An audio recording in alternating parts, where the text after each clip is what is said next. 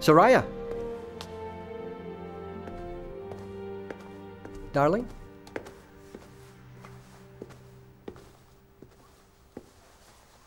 You've been crying. Almost. What can I do for you? Keep me with you. Tell me what's happening, that's all I ask. Nothing happened yet. I've asked for more time. Remember when you showed me the poverty stricken in Tehran? The back alleys, the children, those people? And you said you wanted to help them? You knew it wouldn't be an easy task. But I didn't think it would be so difficult. But if you really want to know, I still want to help them. One day our children will be proud of you.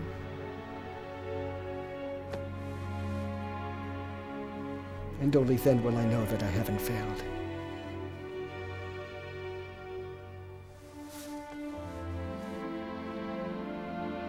So, do you like it? Oh, yes, I do. There are a few changes to be made, but we could always finish it here. What are you talking about? Finish what? Our honeymoon.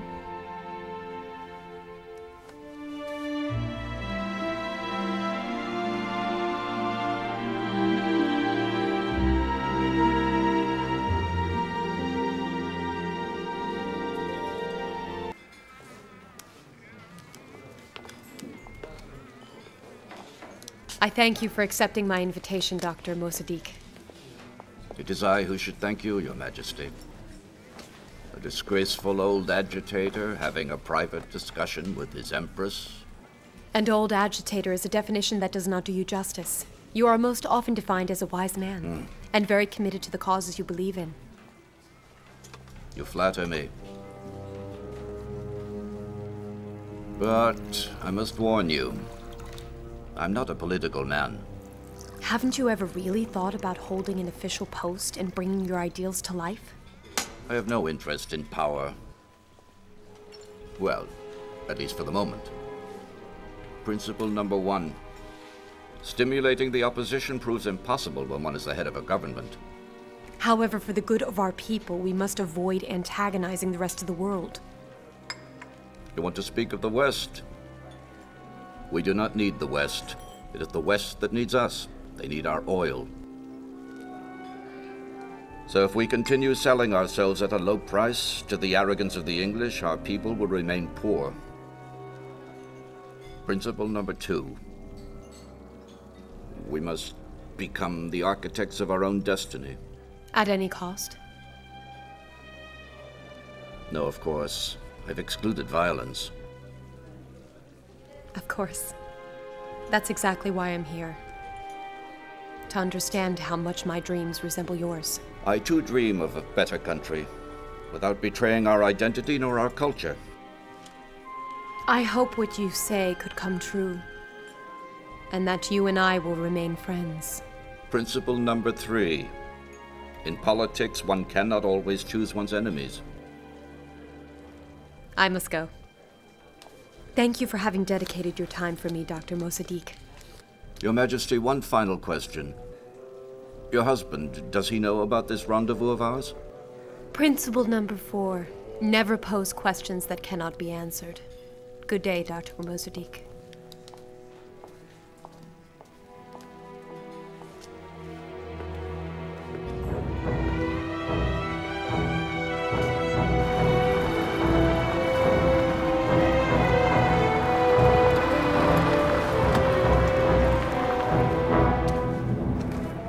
Good day, Ambassador. Wasn't safe to call, so I came personally. And so? The Empress Soraya has met Mossadegh. Good lord. A clear signal that the Shah wants to offer him the prime ministership. We must react. With immediate military intervention. London wants the company to propose an informal offer to the Shah of 50%. Armed force must be used only as a last resort. If we start negotiating again, they'll up the ante and end it. London is the company. You absolutely must convince the Shah before he appoints Mossadegh.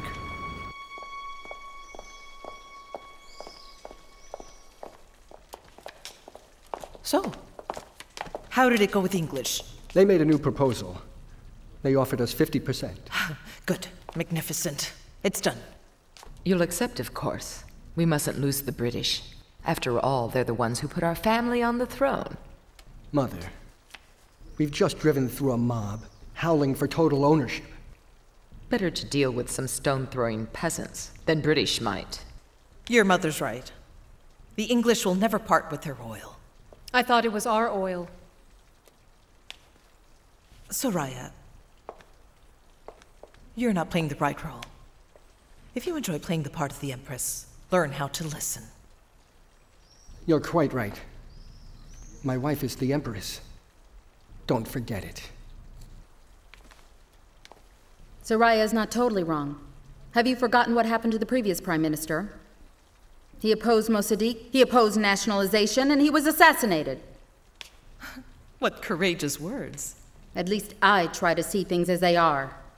Enough, Mohammed. Appoint Ala as Prime Minister, and accept the proposal offered by the English and bring in the military. That would only increase the people's anger. So, what are you saying? That we should trust Mossadegh? I don't think that would be impossible. I was very impressed by him. You met with that man? Yes. Alone? Mohammed, did you ask your wife to meet Mossadegh? Their conversation was very useful. I only hope that you're still capable of controlling your wife. We believe that Dr. Mossadegh wants the same things for our people than does the Shah. The reality is that if you elect Mossadegh, you'll be his own personal puppet. The reality is what's happening in the streets, Samira. People of Iran, speaking to you is your new Prime Minister, Mohammad Mossadegh. I announce to you today that Parliament has approved the law for the nationalization of oil. As of today, a new sun now shines upon our land, a sun which now illuminates our present and our future. Because finally, united, we have reconquered what is rightfully ours. We are heirs to an age-old civilization. How then could we accept being controlled by a foreign power? How could we deny being owners of our wealth? Our history and our pride require us to take it back and never relinquish it again. As of today, our oil belongs to us.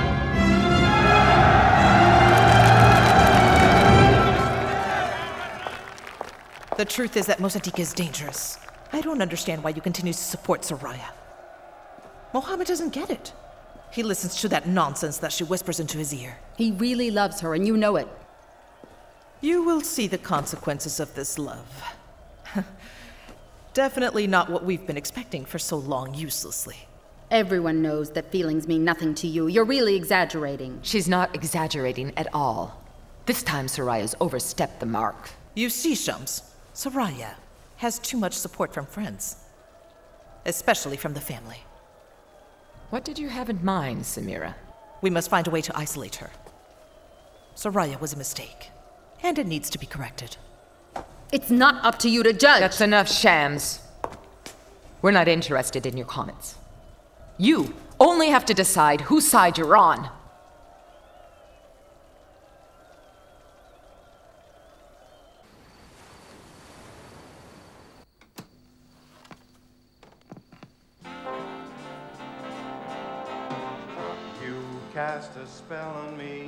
Summertime.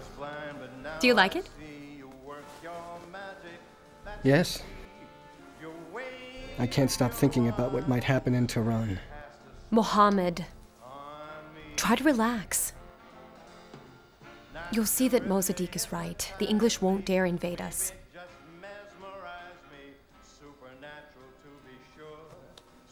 It was a good idea of yours to come.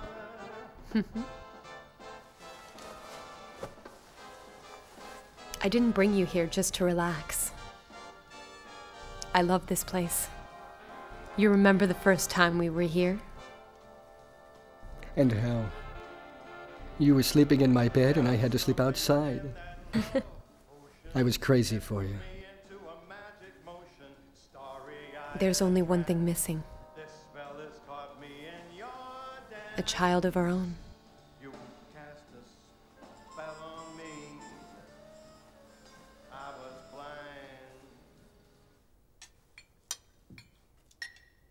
Did you know your daughter changed all the decorations? Although I don't know what was wrong with the rooms before. Our beloved Soraya has beautiful taste. You'll be able to see the final results when you visit next time. The next visit? Oh, excuse me. Did I say something wrong?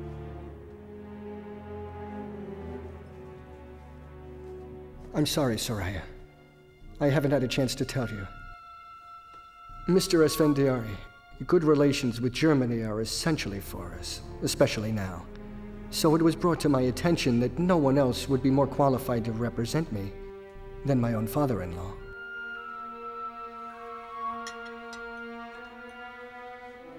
Mr. Esfandiari, you seem disappointed. No, no. I'm only surprised. I thought. I hoped that the union of our families would signal my permanent return to our homeland. In Germany, Mr. Esfandiari, is where we can all truly benefit from your services. Mohammed, I hope that you didn't make a mistake. I simply thought I'd be honoring you by making you my ambassador. You and your family. But if you prefer to stay in Iran, It's a great honor, Your Majesty. I thank you very much. Your wife will be most certainly happy to return to Bonn. With your son. Of course, I'm delighted. Although, given the delicate situation, I would prefer to be near my daughter.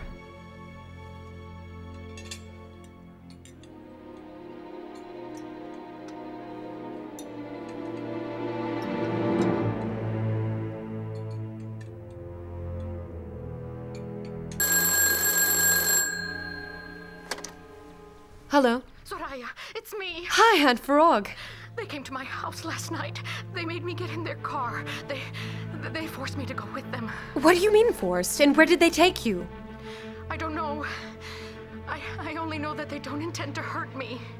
But that for your own good, I have to stay away from Tehran. What are you talking about, Aunt?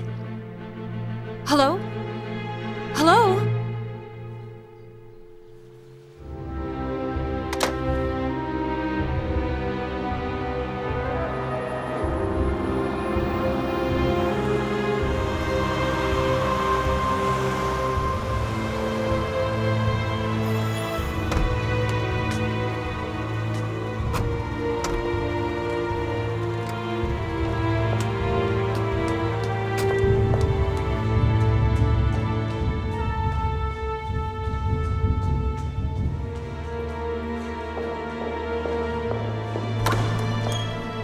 I'd like to see my husband. The Shah is in a meeting. He cannot be disturbed. Tell him I need to see him. I'm sorry, Empress. They told me no exceptions. I have to obey my orders.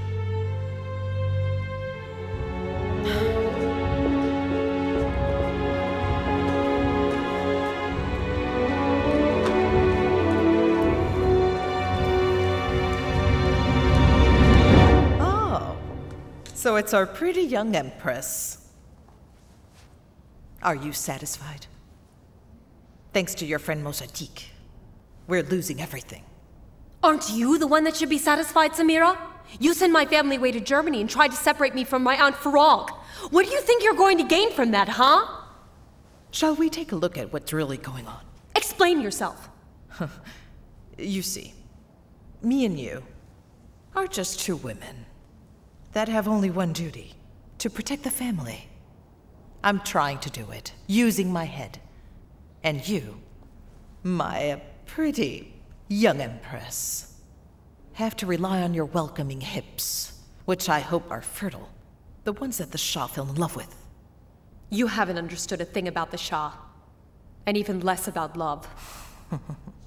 Thanks for the advice.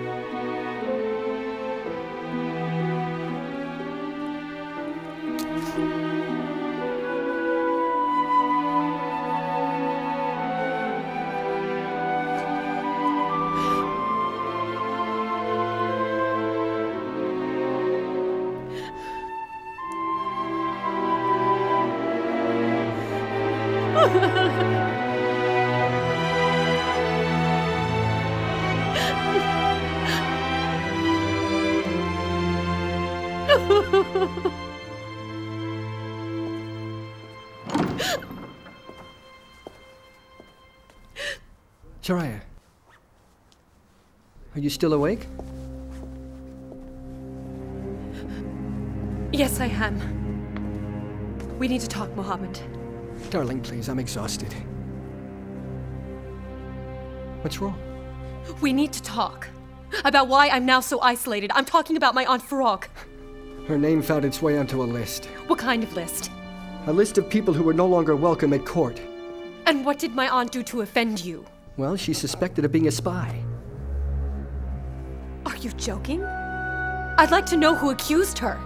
And who would this dangerous woman be spying on? I'm not at liberty to say, Soraya. Please don't ask me to call the judgment of my advisors into question. Your advisors or your family? I don't think it's any of your business.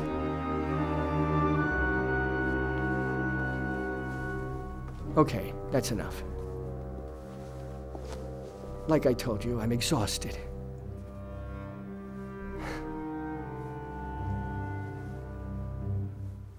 What were you trying to tell me this morning? I want to go visit my parents. Now? Why? I'd like to stay with them until they've settled in. It means a lot to me. You wish.